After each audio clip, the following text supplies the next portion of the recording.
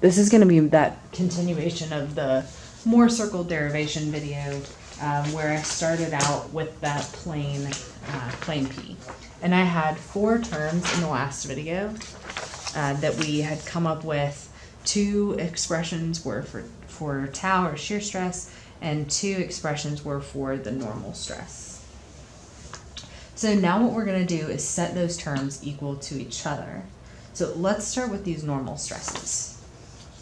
We're going to set sigma 1 cosine theta minus the shear stress sine theta over cosine theta.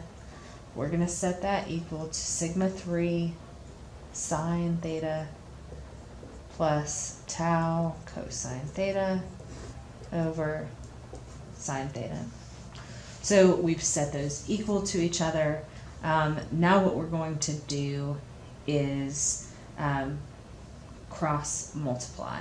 So we're going to multiply everything on, um, well actually, I don't think in this one I chose to do that. I think what, I, what I'd rather do here, because I noticed I've got some things that could cancel, let's go ahead and let's get those out of the way. So I'm going to do uh, sigma 1 cosine theta over cosine theta minus tau sine theta over cosine theta. And I'm going to divide sine up on this side too.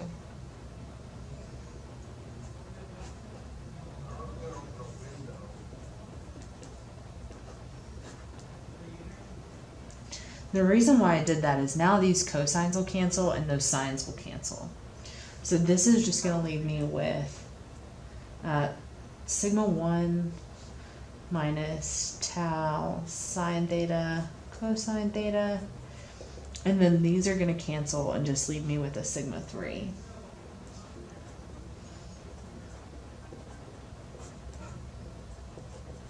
Okay. Now I'm going to group those two um, terms together. And then I'm also going to bring the taus together and factor out a tau. So that should give me sigma 1. Um, we're going to subtract sigma 3 to this side. And then we're going to add this term over here. And again, factor out that tau. So sine theta, cosine theta, plus cosine theta, sine theta. Now, to be able to get these terms to really add together, I'm going to have to multiply this side by sine theta over sine theta and this side by cosine theta over cosine theta. So think about it as having a tiny multiplication in here. This is sine theta over sine theta and cosine theta over cosine theta. And I know I can do that because anything over itself is just 1 and you're always allowed to multiply by 1. So I'm going to do some of that multiplication now. So I'm going to have sine squared theta and cosine squared theta. And I know that that's going to be over, uh, my new denominator is cosine theta sine theta. Okay. Now, there is a rule in trig that says whenever you have sine theta plus cosine theta and they're both squared, so it's actually sine squared theta plus cosine squared theta, that the addition of those two things is just 1. Uh, and that's a, a rule that goes back to the, using the unit circle and its derivation. So they have the same denominator. What we can say now is sigma 1 minus sigma 3 is shear stress times 1 over cosine theta sine theta. And now I can multiply both sides by cosine theta sine theta.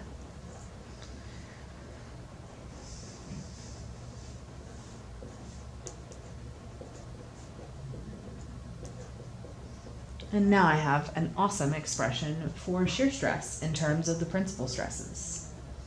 Now I can do the same thing for the normal stresses. Um, I would set those equal to each other.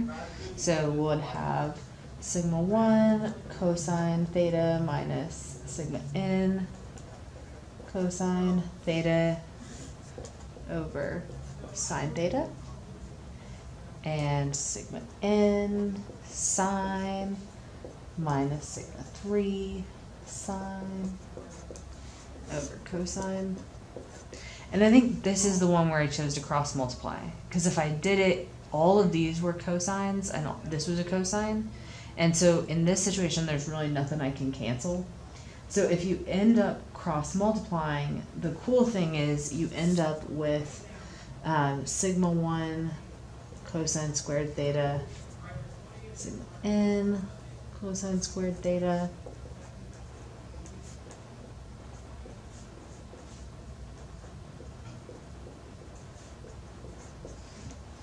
So now I've got these sine squared terms and cosine squared terms and I can kind of do the same thing I did last time using those the, the knowledge that those squared terms give me one um, to unify um, some terms. So I can group this one, for example, this term with this term and factor out the um, the sigma n and then I would get a 1. So let's just see what that looks like.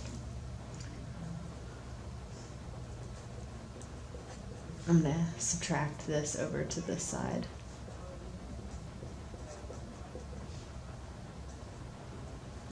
Factor out that sigma n, add this over.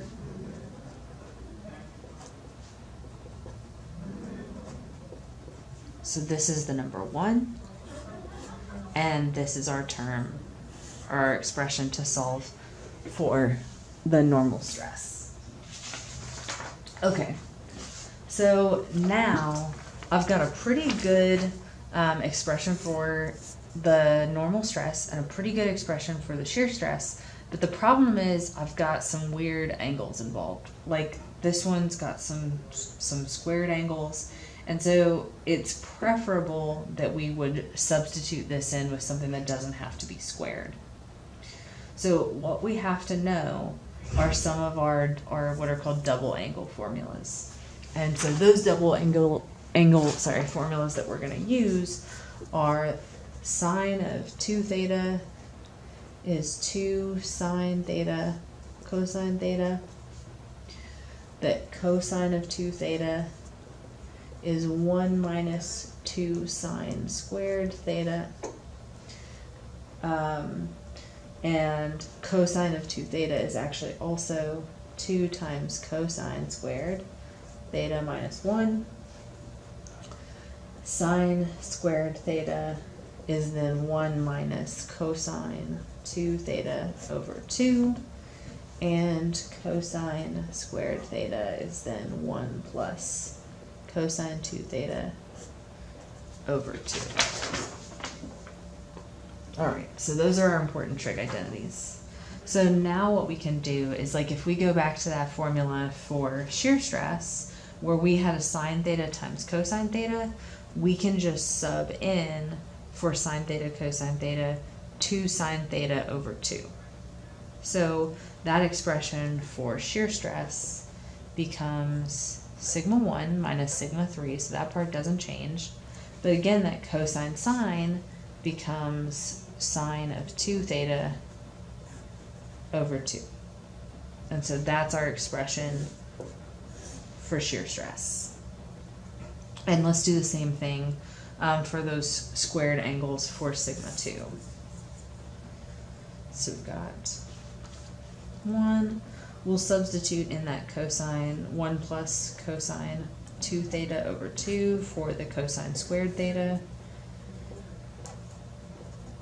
We'll substitute in ooh, 1 minus cosine 2 theta over 2 for the um, sine squared.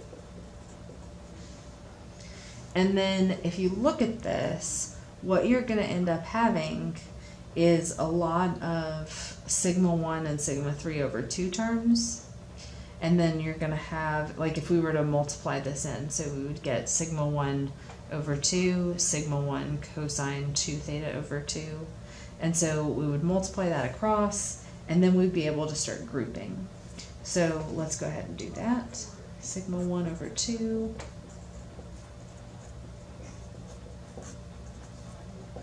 And I'm just working all these out because I I remember when I was an undergrad and I always felt like when people didn't show it, it just skipped some steps and then I always felt like I was guessing like where the where the step fell into place. So I'd rather just show it. So now I'm going to group this term with this term and I'm going to group this term with this term. So we're going to get sigma 1, sigma 3 over 2 plus cosine 2 theta sigma 1 whoops this should be minus. Minus sigma 3 over 2 okay. Now here's the thing that makes it a Mohr circle that that makes these formulas valuable for a Mohr circle one is that we have sigma n and, and shear stress that we have those two equations in terms of the principal stresses and an angle. That is really, really important that we have that.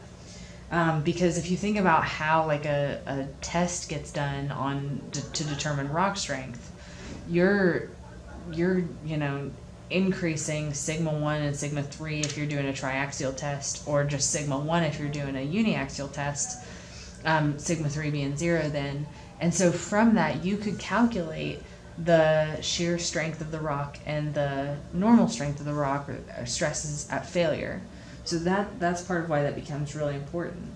And in terms of calculating the Mohr circle, if you have um, any two principal stresses that you're imposing upon a rock, you could then calculate the shear stress and normal stresses for all of the different angles associated with it. So you could make a little table and I think this is really cool. If you've never done this before, you should try it. Make yourself a little table with a sigma, or with a theta, a sigma n, and a tau. And then give yourself a range of angles. 75, 90. Give yourself a range of angles. And then just pick a sigma 1 and sigma 2. Like let's say sigma 1 of 20 or no, sorry, a sigma 3 of like 10. What you're going to find is that you're going to be able to calculate sigma n for these values and tau for each of these values. And then when you go to plot it, you're going to plot your sigma 3 and your sigma 1 on your normal axis. And then those other points are going to plot like that, and you're going to actually be able to connect it. And if you did the negative values, connect it into a circle. And so that's where that Mohr circle is coming from. You're you're finding all of the combinations for stress that's oriented at different angles on that plane. Um, so the circle allows us to estimate the stresses on any orientation of a plane as long as we're given the angle of that plane, sigma 1 and sigma 3, or we have sigma n and the shear stress. So. Hope that derivation helped. Thanks.